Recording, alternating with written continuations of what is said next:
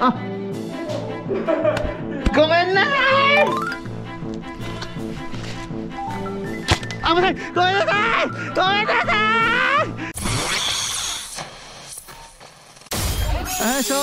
チャスフィブスです。今回は五条タクティカルフィールドミドルアースさんにやってきました。この日フレさんは体調不良でお休みです。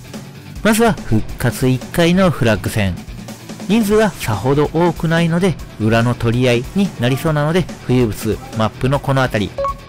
シーフィールドと呼ばれるインドア内に潜入し裏を取られる前に一番奥まで来ました。味方もすぐ近くにいたのでこのままシーフィールドの外側明暗差を使って敵を倒していきたいと思います。人数が少ないので建物内を取った反面外側はかなり敵に押されていそうですね。自陣のフラッグが落とされるのも時間の問題と判断して冬物このまま最短距離でフラッグを目指します。この辺りから一気に車線が開けていくので要注意です。割り気内に入ってしまえば敵の懐の中になるので一旦安心ですね。と激しい光線音が聞こえます。一間開けてぼちぼち行きましょうかね。軽く安全確認を行って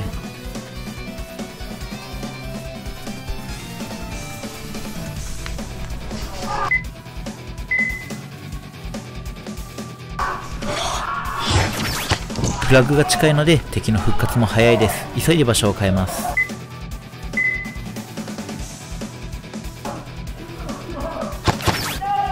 そしてタイミングを見計らって敵の裏側に回ったところで制圧しフラッグゲットとなりました。はい。次は建物内シーフィールドだけを使った復活なしの攻め戦です。冬物まずは小高い場所を目指して進みます。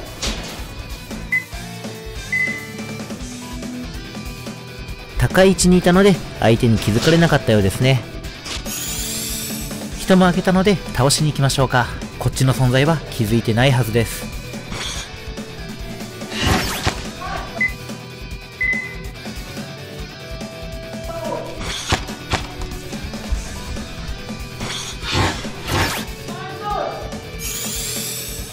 体がむき出しの横を警戒しつつ時折前も確認します。と。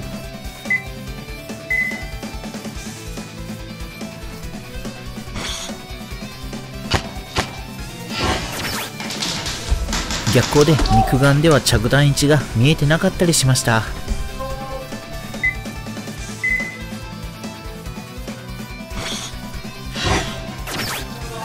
いい感じですね。味方も増えてきたので冬打つ前に出ることにします。かなり手厚くいるので大胆に前に行ってしまいましょう。足元の確認は怠らず。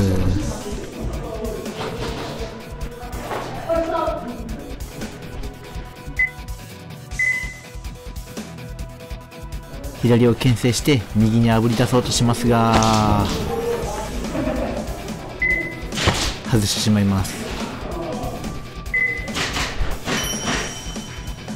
ヒットでヒットで多分球出てない。このやってもやられても笑える感じがいいですね。はい。ここからはほぼおまけ。シーフィールドオンリーの時に浮遊物が個人的に大好きな進行ルートです。進行中に敵に見つかるとほぼ何もできないので見つかるすなわち即死です。が成功すると敵の裏をほぼほぼ無条件で取れてしまうハイリターンなルートです。まずはオクスタートの様子です。さっきのゲームで浮遊物が小高いところに登っていたかと思います。その足元がトンネルになっているんですね。高さがかなり低く銃をまともに構えることができないので見つかればほぼ間違いなく蜂の巣です。できるだけ音を鳴らさないように慎重に進んで。この辺りで正面に敵さんが来たらもう絶望するしかないですよね。もう間もなく出口です。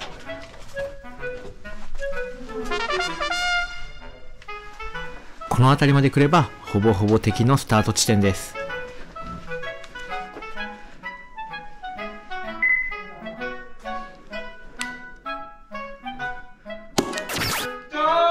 次は手前スタートで通ってみます。開幕ダッシュをする必要はないのでドアマンをして味方を前線に送り込みます。フィーブスもスタートして敵もトンネルを使ってるかもしれないのでまずは来ていないか確認します。大丈夫そうですね。手前からの場合敵がトンネルに来るときには丸の部分に必ず敵の足が見えます。中央付近で光線が始まったのでしばらくは大丈夫だろうと判断し進め始めます。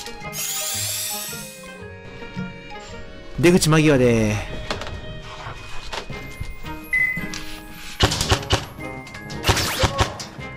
最後の射撃はいらなかったかもですね。すみません。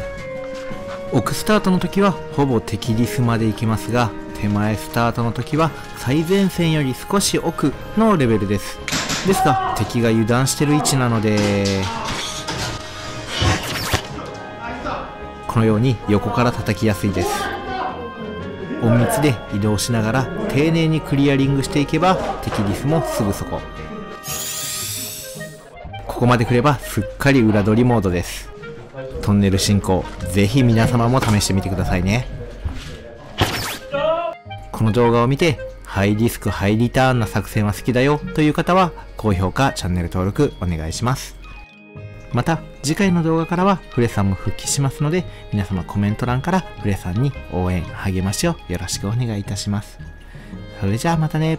バイバイ。